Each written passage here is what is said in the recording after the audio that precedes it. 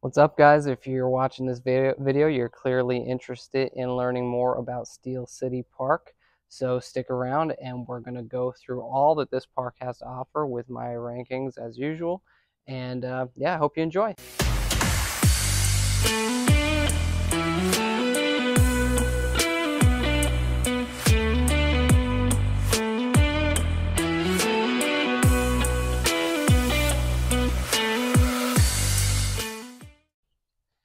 To my videos, welcome. My name is John Cummings. I'm with Better Homes and Gardens Cassidon Realty. Um, and if you're here, you want to learn everything there is to know about the Lehigh Valley. Um, and today we're looking specifically at Lower Saucon Township and one of the park reviews, and this is Steel City Park. Steel City Park right now, this is about two acre park. Uh, has a you know a little league baseball diamond uh, pavilion, has basketball courts, and um, you know a little play area over here for kids. It's actually fairly decent sized play area for your kids. Um, but you know, first thing we're going to go through is the amenities at this park, and I will give Steel City Park a seven for their amenities. They, for a small park, they actually have quite a bit to offer as far as amenities go.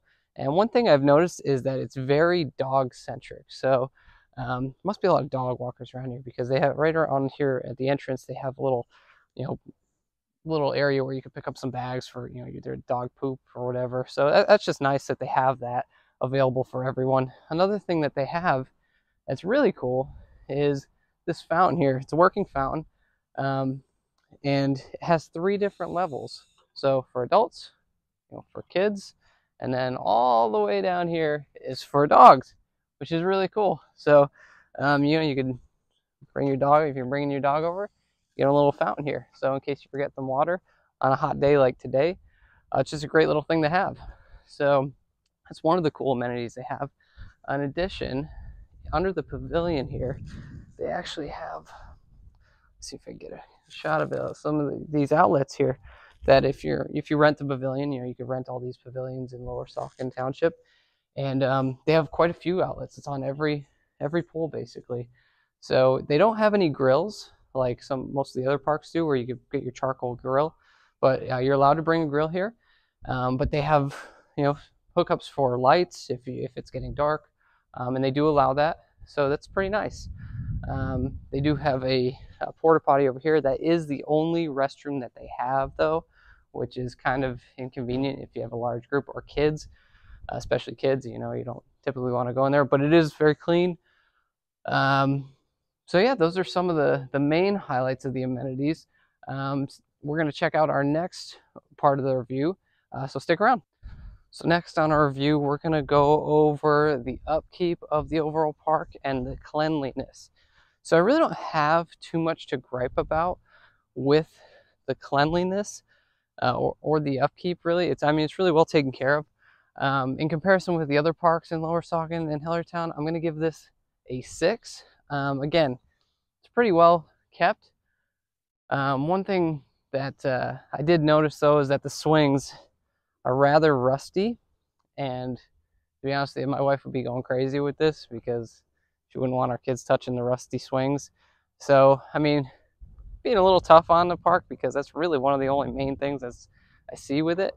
Um, the porta potty, it's clean, to, clean enough to use.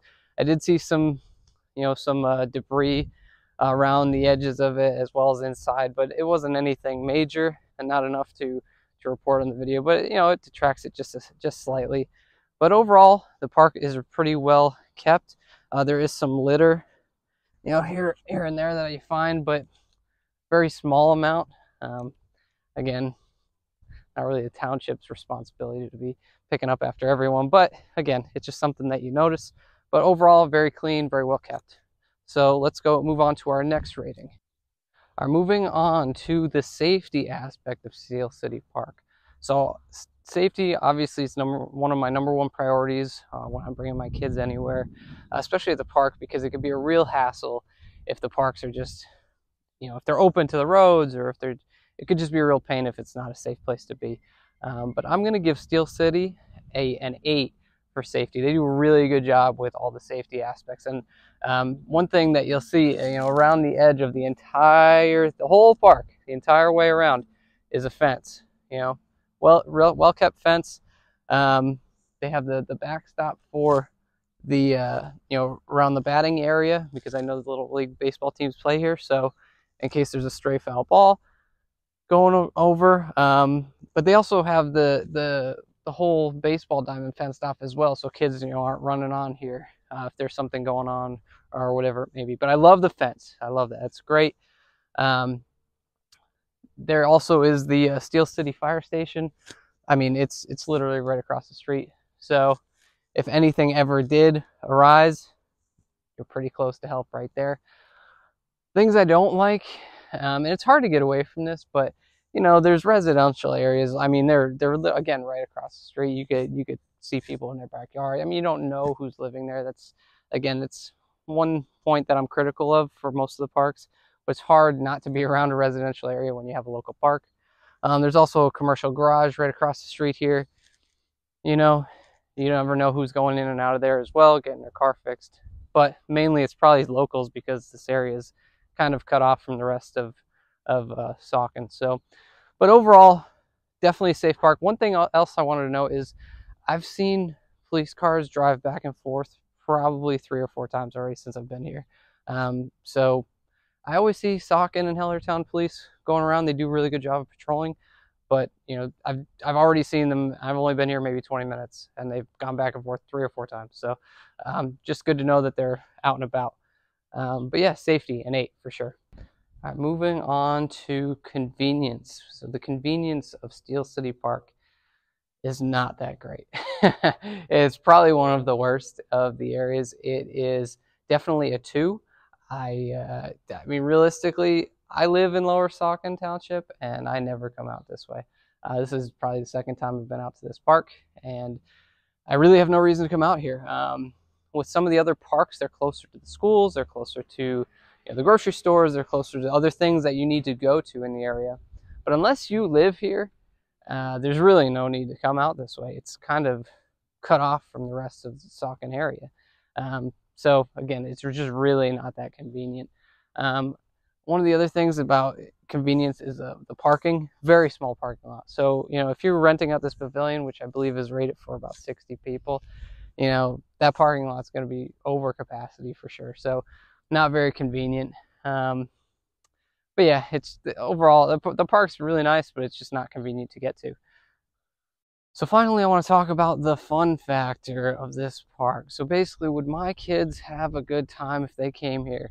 And I'd say yes for sure. One of the main reasons is this basketball court. They love to, you know, go shoot the baskets or just run around in the courts. They love to run along the lines or bounce the balls or whatever it may be.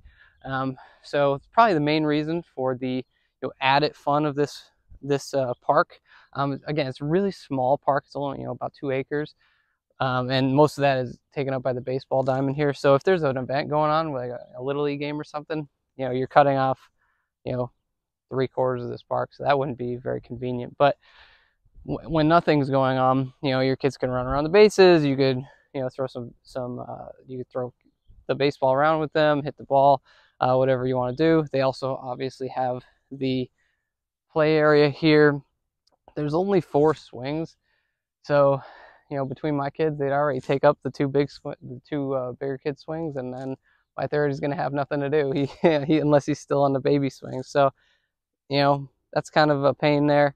Um, but overall, you know, it's it's it's definitely a six for sure uh, with with this uh, the fun factor of this park. There's a lot of just little things to do.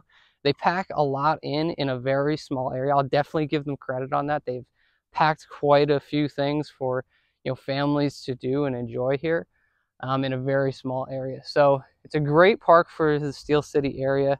Um, I highly recommend coming here if you're in the neighborhood. Like I said, it's not the most convenient if you're in other areas of Saucon, but it is a great park and it's definitely a great resource for those in this community. Um, so I hope you enjoyed the video and I hope that helps you with any decisions you're looking to make uh, when thinking about moving to the Saucon Valley area. Uh, if you're thinking about moving to the area in the next nine or 90 days, uh, feel free to reach out, call, text, email, however you want to get a hold of me. All my information is in the description below. Uh, feel free to reach out anytime. I'd be happy to help make your move as smooth as possible And uh, I hope to see you around the neighborhood.